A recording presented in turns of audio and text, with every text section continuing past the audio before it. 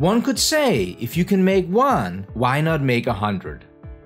When using integrated CAD and CAM, you get a natural flow between design and make.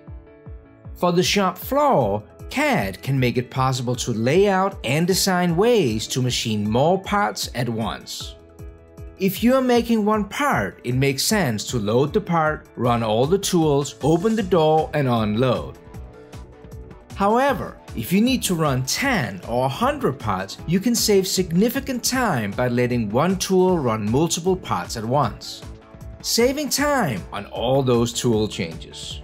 And if your part have multiple setups, imagine you now can have one finished parts at each end of the cycle, letting you run two parts that assemble or two completely different parts together at the same time.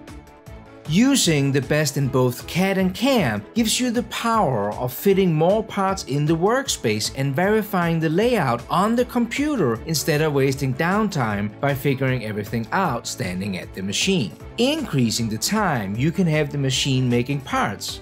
And parts equals money, does it not?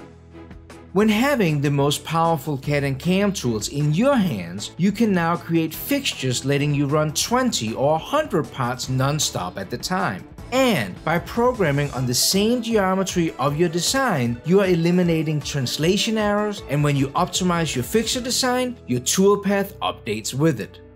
Now you're running the parts as efficient as possible and can make them cheaper than somebody else.